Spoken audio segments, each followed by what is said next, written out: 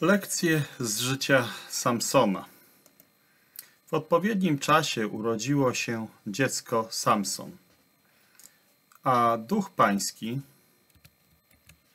zaczął go pobudzać w obozie Dan między Sorea a Esztaol, jak czytamy w Księdze Sędziów 13:25.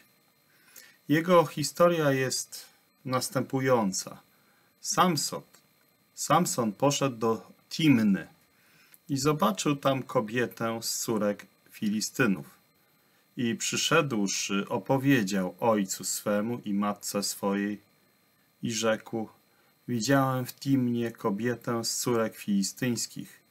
Teraz więc weźcie ją dla mnie za żonę.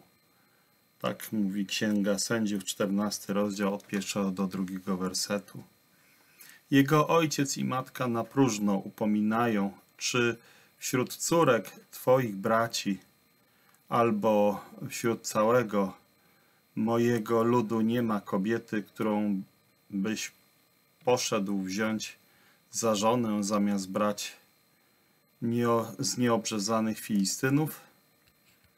Tak została postawiona sprawa. Samson jednak był tak samo wolny, jak i silny. I rzekł Samson do swojego ojca, pozyskaj ją dla mnie, bo ona mi się podoba.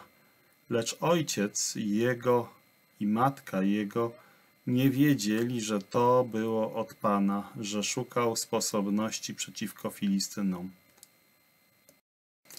można zauważyć przejrzystą śmiałość Pisma Świętego, równie cudownie pouczającą, jak i jego rezerwę. Czy gdyby człowiek układał zawartość Pisma, to odważyłby się wypowiedzieć tak wyraźnie? Wątpię, czy jakikolwiek wierzący bez natchnienia uznałby za pożądane napisać ten werset i wiele innych, tak jak uczynił to Bóg. Jeśli w ogóle ujawniłby ten fakt, przeprosiłby za niego, potępiłby jego zło, aby oczyścić siebie, mówiłby dużo, być może o Bożym zezwoleniu i nadrzędności. Teraz jestem daleki od zaprzeczania, że jest rzeczą słuszną, abyśmy odczuwali ból i wstyd z powodu dróg Samsona. Jest jedna rzecz, którą Duch Boży zawsze zakłada – doskonała dobroć i niezachwiana świętość Boga. I to ponad wszelką wątpliwość czy obawę. Mamy prawo zawsze mieć przed oczami podczas czytania Biblii. Nigdy potem nie pozwól, aby cień podejrzenia wszedł do Twojej duszy. Niezmiennie, kiedy słuchasz spisanego Słowa Bożego, stań po Jego stronie. Inaczej nigdy nie zrozumiesz Biblii. Możesz zostać poddany próbie, ale bądź pewien, że zostaniesz z niej wyprowadzony. Może nadejść dzień, kiedy nikt nie będzie chciał podać ci pomocnej dłoni. Co wtedy stanie się z tobą? Jeśli raz pozwolisz, by twoja dusza została zbrukana przez osądzanie tych żywych wyroczni, to prawdziwa wiara w Biblię zniknie jeśli chodzi o Ciebie. Jeśli nie ufam jej we wszystkim, to nie mogę ufać jej w niczym. Im bardziej się zaufało, tym gorsza jest reakcja otoczenia, nawet w przypadku biednego, błądzącego człowieka, który nie wie, jak poważna jest to sprawa. Nikt też nie powinien dopuszczać do siebie zwątpień, dopóki nie będzie miał pewności, że to, co się stało, nie może być wyjaśnione w żaden inny sposób, jak tylko przez winę. A to, nie muszę chyba dodawać, jest jeszcze bardziej należne ze względu na braterską wieśń i boską miłość, a nie tylko ze względu na to, czego możemy się spodziewać dla naszych własnych dusz. Gdy chodzi o Boga i Jego Słowo, to sprawa dla dziecka Bożego powinna być prosta. Jakże często to my sami stwarzamy trudności, z których wróg chciwie korzysta przeciwko naszym własnym duszom i Bożej Jego chwale. Sprzeciw wobec Pisma Świętego jest bowiem zawsze dziełem niewiary. Trudności, o ile istnieją dla nas, ćwiczyłyby tylko wiarę w Boga. Słowo Boże jest zawsze samo w sobie nie tylko słuszne, ale i pełne światła. Ono czyni mądrym to, co proste. Ono oświeca oczy. Początek Twoich słów daje światło i daje zrozumienie prostym. Tak poucza nas Słowo Boże w Psalmie 119, werset 130. Niewątpliwie w Piśmie Świętym jest wiele rzeczy, o których nie wiemy, ale nie mamy prawa sami interpretować Słowa Bożego. Istnieje coś takiego jak bycie nauczanym od Boga. Duch Święty jest dany do tego, jak i do innych celów. Niewątpliwie często zdarza się, że jesteśmy zobowiązani do czekania, co jest rzeczą zdrową dla naszych dusz. Dobrze jest czasem dla wszystkich tych, którzy nauczają, że powinni być zobowiązani do uczenia się, dobrze, że powinni być zmuszani do odczuwania, że nie wiedzą. Jest to doskonała lekcja moralna, że powinni to wyznać, nie tylko być tego świadomi, ale posiadać to. Rzeczywiście koniecznym roszczeniem Pisma Świętego jest to, że jest ono powierzone jako Słowo Boże, chociaż nie wynika z tego, że jesteśmy kompetentni, aby wyjaśnić to wszystko. Tylko przez Ducha Świętego możemy wejść i się cieszyć. Nie oznacza to, że istnieje jakaś szczególna trudność w tym, co było okazją do tych ogólnych uwag. A tym bardziej nie sugeruje się, że ten, kto pisze, mówi, ma pretensje do poznania czegokolwiek tak, jak powinien wiedzieć bardziej niż ci, których widzi wokół siebie. Jeżeli przez pouczenie od świętego wiemy wszyscy, to jest równie prawdziwe, że wszyscy jesteśmy tylko uczniami. I znowu, to oczywiście nie żadne moje osiągnięcie prowadzi mnie do mówienia tak, jak to zrobiłem teraz. Jeśli mówiłem mocno, to tylko tak, jak ufam, jak, na, jak każdy wierzący.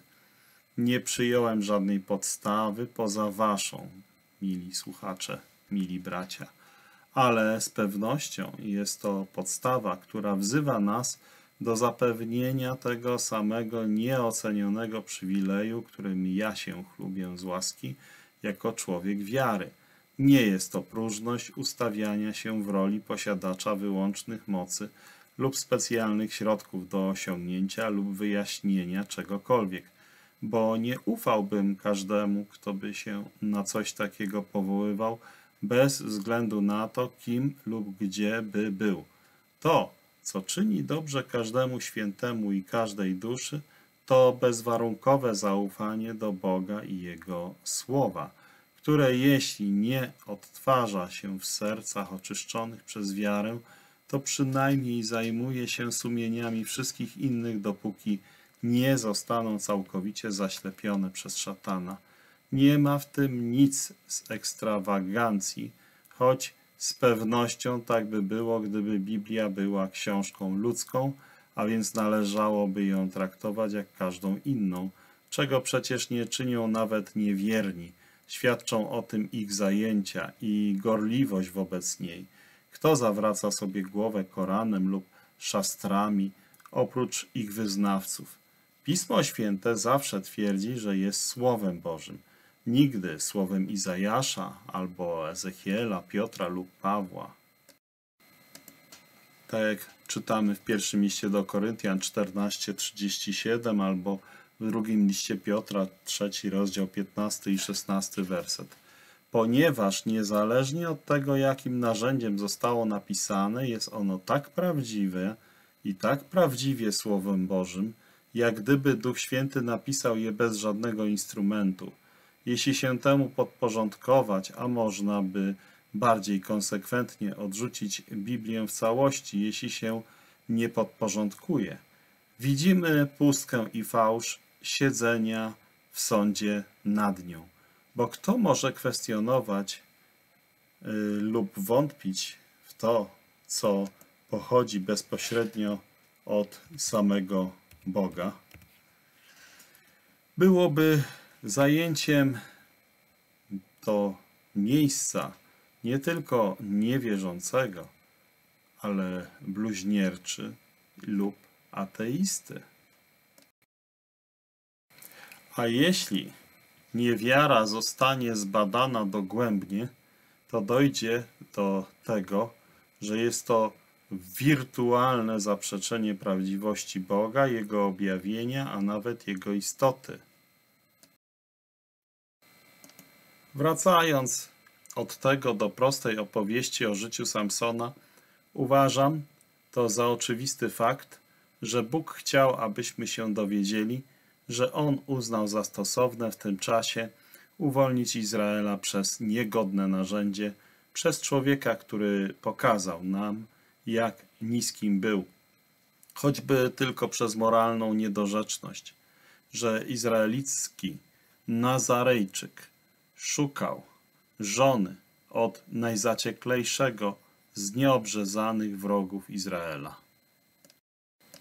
Obrzydliwość takiego postępowania jest pozostawiona do opowiedzenia swojej własnej historii, a jednak Bóg przez człowieka, który w ten sposób podążał swoją własną wolą, zamierzał obrócić tę okazję na swoją własną chwałę, zrywając tym gwałtownie więzy, które nieopanowana namiętność i niskie myśli Samsona skłoniły do schodzenia w dół. Zejście jest wielkie, gdy ktoś noszący imię Pana lekceważy Jego słowo i szuka własnej drogi. Jeżeli Bóg pozwoli mu na pewien czas czynić swoją własną wolę, to jaki wstyd i ból musi zebrać w niedługim czasie. Tymczasem człowiek ten moralnie rzecz biorąc jest zrujnowany. Jego świadectwo dla jego imienia jest gorzej niż stracone. Nawet jeśli Bóg ingeruje i wytwarza bezpośrednie przeciwieństwo cielesnej przyjemności, której szukała własna wola, nie jest to w żaden sposób chlubą dla człowieka. Jeśli Bóg realizuje swoje cele przez jego czyny, pomimo zła i głupoty, Dobro nigdy nie jest owocem woli człowieka, lecz woli Boga. To tylko wychodzi na światło, bo tylko On, Bóg, jest tak mądry i święty, jak dobry. Dlatego uważam, że w tym przypadku nie ma nic, co mogłoby doprowadzić do potknięcia najprostszego wierzącego, choć bez wątpienia może to być potknięciem dla kogoś, kto nie zna Boga i Jego słowa. Niestety, jak wielu jest w dzisiejszych czasach zuchwałych wolnomyślicieli, którzy są skłonni zasiadać w sądzie nad Jego słowem i nie dają Jego objawieniu żadnego kredytu zaufania za mówienie nam prawdy, jaka była i jaka jest.